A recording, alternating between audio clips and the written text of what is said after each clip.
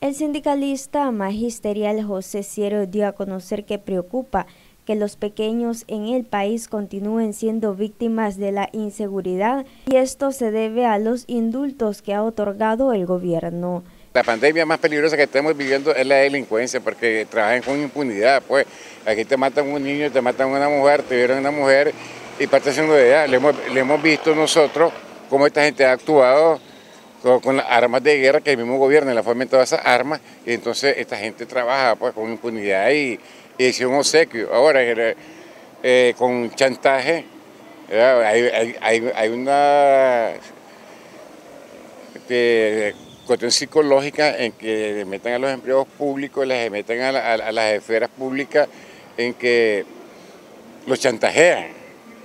Si no te vas, si no vas, te corremos.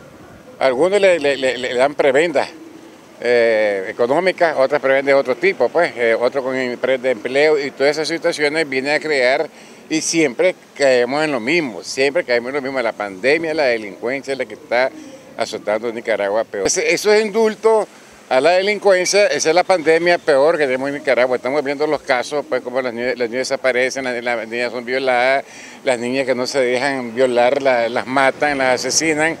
Entonces, eh, y esa es la pandemia de la delincuencia, pues, y que trabaja con impunidad que el mismo gobierno lo ha fomentado. Esa es la peor pandemia en Nicaragua. Ciero afirma que desde los hogares hay que implementar medidas sanitarias para evitar la pandemia del coronavirus. Porque el coronavirus, el coronavirus se puede evitar eh, fomentando eh, una campaña propia en la familia de salud. Llega el Metro de Salud, debería estar una, una campaña fuerte en, todo, en todas las los barrios en todo el país para evitar. Ahora, que el gobierno no quiera asumir las cuarentenas que hacen otros países, es peor la situación porque si no entramos en cuarentena, Venezuela, que, es un país parecido a la política de Nicaragua, está en cuarentena. Nicaragua va a quedar aislada, totalmente aislada, porque no va a haber, eh, todos tienen cerrada su frontera. Ya en Costa Rica están deteniendo a, los turistas que van a venir a Nicaragua de Semana Santa, que vienen siempre, pero no van a venir, ya les cerraron la frontera en Costa Rica. Y así hay muchos países que están cerrando todas sus fronteras. Noticias 12, Darlene Telles.